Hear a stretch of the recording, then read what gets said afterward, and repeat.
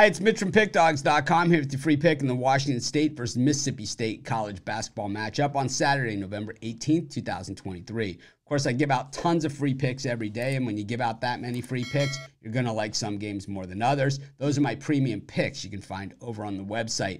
You can use the discount code PICK to get 15% off all of your purchases. We also have the Pick Dawgz Dime Club and Sharp Trading Plays meant for people who make big bets. I make big bets. I know a lot of you do as well. But the only way you can get it is by texting that number you see on the screen. So give it a text if you make big bets. But let's get this one. Washington State taking on Mississippi State. Washington State off to an undefeated start to the season, but we've seen some problems here already with this Washington State team. And it really, for me, it begins with the three point shooting, which is absolutely abysmal. And you guys know me, I'm cutting right to the chase with this one.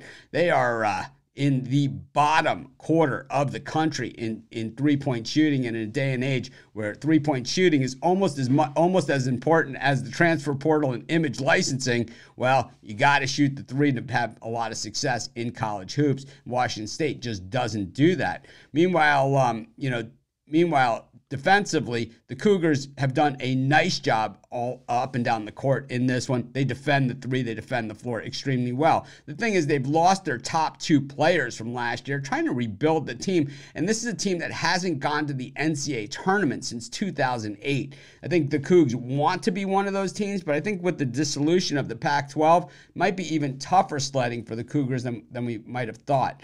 Meanwhile, for Mississippi State, this is a program that, of course, brought in that New Mexico State head coach a couple years ago. Not the New Mexico State team that we see now, but the one that was a WAC winner every single season. And uh, you know a team that was certainly an absolute force. You know we didn't really see the instantaneous results. We saw some of the signs of a turnaround taking place last year but we didn't see all the signs. I expect to see this year a lot more from this mississippi state team. We saw them get out of the gate fast, blowing Arizona State out of the building 71 56 in their opener. Since then, a big win over Tennessee Martin, covering a 21 and a half point spread, and then blowing out Northern Alabama, which, you know, while it doesn't seem like much, in college basketball, we know how important that point spread can be.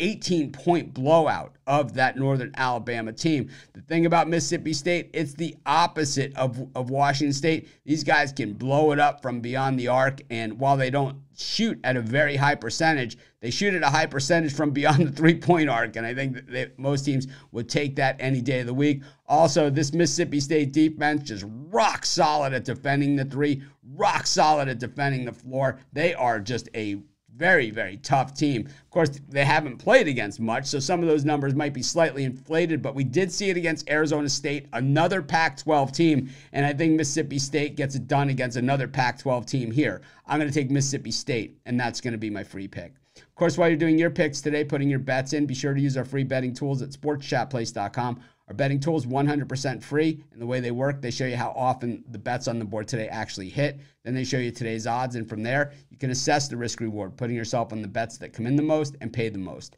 That's how you make money betting on sports.